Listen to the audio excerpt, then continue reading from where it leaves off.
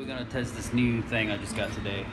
See the difference between the Ortho Raid. I, um, I use this to get rid of bugs outside. Right off the start, I can tell you that just the quality is you have to like pump it. This guy has freaking batteries that you turn on. You just hold the trigger.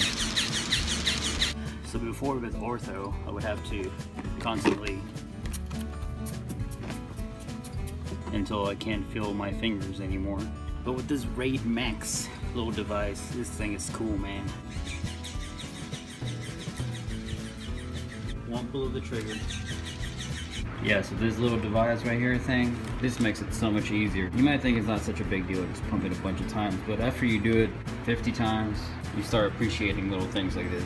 Yeah, so there you go. Uh, pretty cool little device. I'm definitely liking it. So it's the next day after uh, after I sprayed it. Just my doggy. Let's check this out. Alright, so there you go. Just by spraying around, there's one, two, three, four. I don't know if there's any more. It was really hot and humid. But um, least he approves.